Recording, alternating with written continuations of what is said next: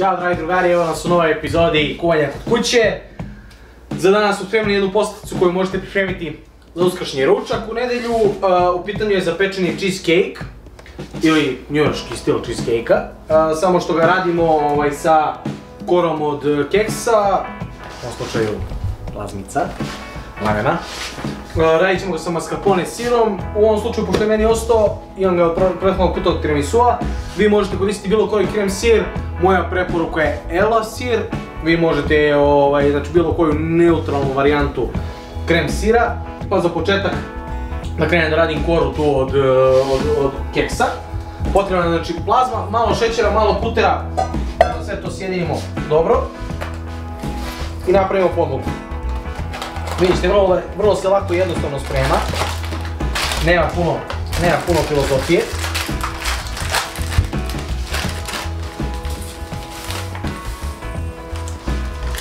Sipali smo plazmu. Dodajemo otupljeni puter.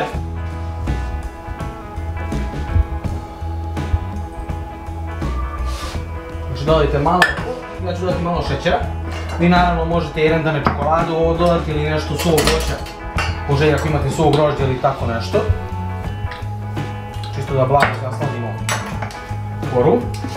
I lagano ćemo smesu izmešati s ovim puterom.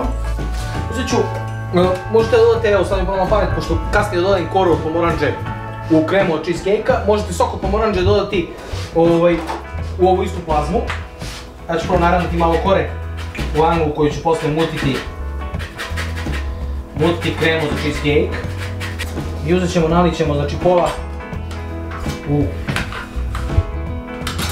pola pomoranđe, pola ćemo ostaviti ovamo za kasnije za ostatak fila, a pola soka možemo slobodno nacediti u, u ovu pomoranđu, u ovu plazmu. I sve to dobro možete sjediniti. Vi naravno vidite kakva vam je tekstura, možete dodati još malo putera ako vam fali. Ja ću dodati otprilike još pola, pola kocke. To znači dodamo još malo otopljenog putera. Vidite kakve teksture treba da bude. Ovo ovakvu biskvitnu masu prebacujemo u hleb koji smo obložili papirom za pečenje. I lepo raspodelimo ovu koru od cheesecake-a. Slobodno možete da podignete zidove, imat ćete onda malo, malo veći sloj korice s spoljne strane, a donja će vam biti tanja i baš kako treba. E, vidite kako to izgleda kada smo, kada napunili to dno. Znači samo izravnate i ostavite da se stegne, znači ovo koru sada ne pečete, jer će se peći prilikom kasnije, prilikom pečenja cijelog cheesecake-a. Možete staviti u frižider dok umutite fil da se ona lepo stegne i da napravi dobru potporu. Taman će ovaj puter lepo da je formira. Za fil nam je potrebno kilogram znači, sira, krem sira, kažem ja u ovom slučaju koristit ću mascarpone, 6 jaja, nekih 150 grama šećera, ovaj, i malo kore od pomoranđe i sok od pomoranđe. Sipat ćemo prvo jaje i šećer sa ovom korom i sokom. Nacijedit ćemo znači, malo soka od ostatka one pomoranđe što nam je ostalo što smo deo stavili u koru. I dodamo nekih 150 grama 150 grama šećera, to je otprilike nekih 5-6 kašika punih. Ovako, vi možete i malo više volite, malo slatke.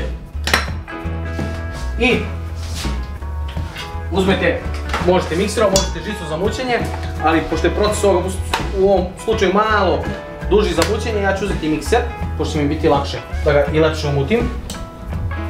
Znači počinjemo prvo od sporije brzine na mikseru, da se polako ovo sve razbije iz žumanca i onda krećemo da mutimo najjaču brzinu do najjače. Na najjačoj brzini mutimo minus 2 da se, e kada se smesa malo zgusnula i vidite već žumanca su jaja da su promenila boju, da su malo posvetlala. Možemo dodati kašiku do dve brašna da ćemo kroz seljku pustiti da se ne bi stvarale gomoljice. I na, naj, na laganu ćemo samo na laganu brzinu mikserom ćemo to umutiti da se brašno lepo sjedinja, da se ne stvore gromuljice. I onda u cijelu smesu dodajemo otprilike oko kilogram, 900 grama do kilogram krem sira.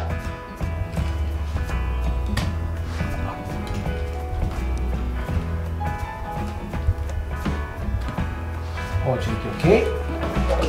I onda opet mikserom na prvo laganiju brzinu da se sir lepo sjedini sa jajima. Da ne bi prskalo i onda posle toga povećavamo brzinu. E, kada smo ovo umutili dobro i razbili sve gromuljice, uzet ćemo i prebacit ćemo smesu fil pleh koji smo ranije pripremili. Pokupimo sve još jednom samo dodatno sa ivica sa špatulom ili čime već imate. Pokupite sve ovo i prelijemo u, izlijemo u pleh.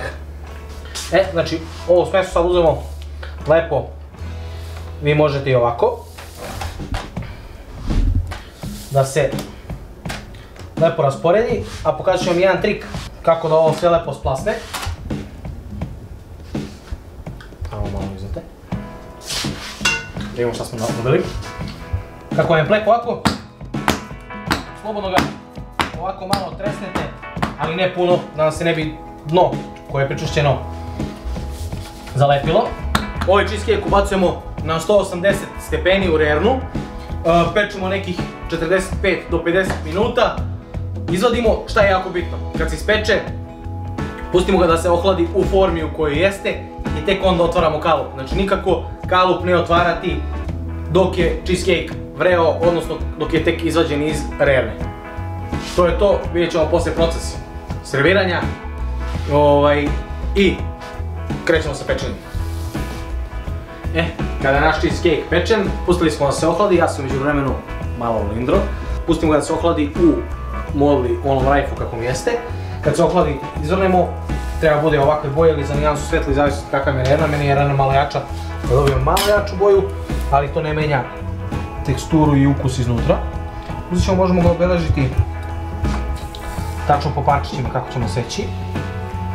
Možete malo špatulicom nekom da ga ovo prvo parče da lagano izvučete. Vidite kako izgleda iznutra, fenomenalno. Pogledajte preseki u sredini. Jako, jako lepo i miriše božanstveno. Skuvali smo od jagoda, ali sam ja ovoga puta nisam blendovao, nego sam ostavio komadu jagode ovaj, kao slatko. Ili ako imate ovaj, da, da ste kuvali ili da mi je majka kuvala slatko ovaj, već ove godine ili ne daj Bože ako možda prošle, mada sam obično pojede sve, ali Bože moj. Samo kuvate od jagoda gustu, gusti, ovaj, gusto slatko ili sirup, sos kako god i ja ću koristiti da prelijem malo preko preko cheese. To je naš zapečeni cheesecake. Vidite kako izgleda. Fenomenalno miriše, ima božanstvenu teksturu. Samo.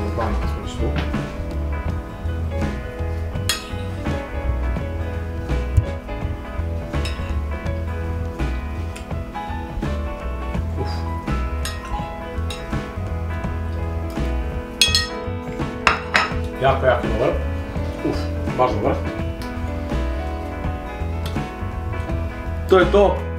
Evo imamo savršenu posljedicu za nedeljni ručak nakon malog rolanog plasenceta koje smo spremali. Ovaj, lako se sprema, vidjeli ste da trebam puno sastojaka, vrlo ukusna stvar, malo da promenite ako ste navikli da spremate do sada ovaj normalan cheesecake. Hladnu varijantu, ova je zapečena ili New York kako ko voli da zove. Odličan kolač, baš dobar. Mi se družimo u sljedećoj epizodi.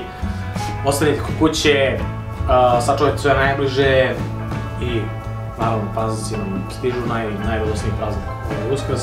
Smišljate recepte ili nešto probajte da prekopirate od mene i potrudite se spremiti to isto za uskrs i za vaše najbliže za praznik. Pozdrav!